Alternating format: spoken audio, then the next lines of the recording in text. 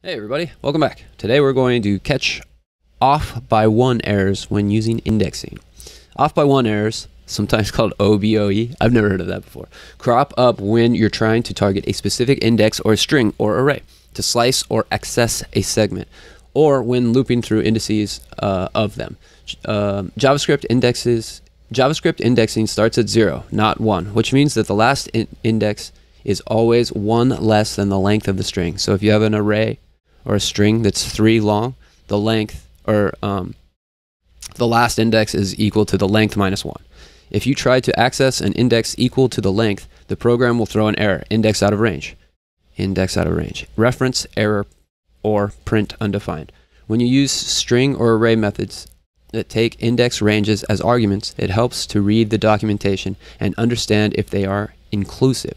The item at the given index is part of what's returned or not. Here's are some examples of off by one errors. Here we've got the alphabet. Uh, there we go. It's uh, a string with each letter of the alphabet, A, B, C, D, E, F, G, all the way to Z. And then we have a, we're allowing for a variable is of the of len, which should be expanded out to length. Why make it len? So it's difficult to understand. Why do we make that? And then we set the, the variable of len equal to the length of the alphabet. Uh, and what we're going to do is we're going to say if we let um, i, and then we're making a for loop, let i equal to 0, i is less than or equal to length, and then we're iterating through one at a time.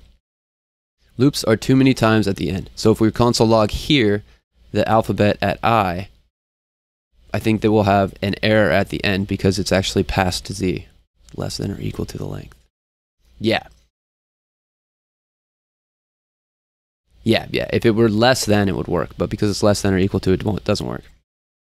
Here, we loop too few times. j is equal to 1, and we're actually missing the first character. So we're going to start at, you know, j is equal to 1, so the alphabet at position 1 is starting at the letter B, not A.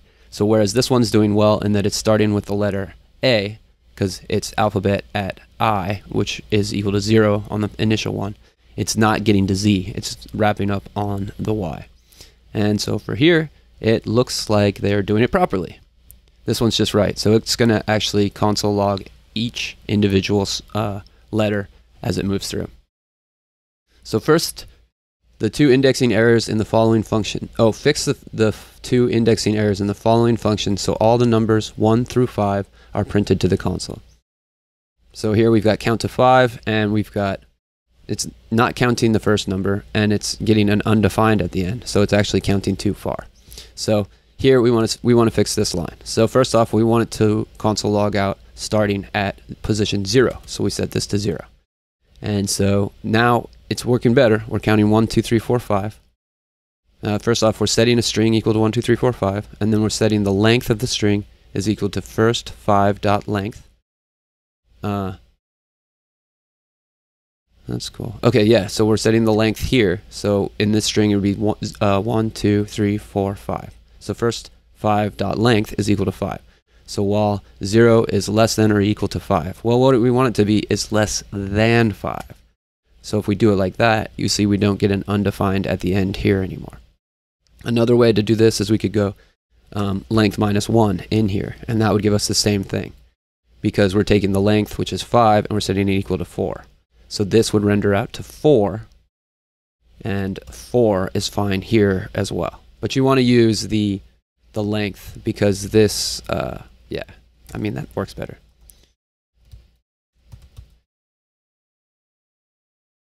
Um, yeah, I'm pretty sure this will pass the tests. Uh, yeah, this is just you know um, this is this is really important sort of concept to understand intuitively.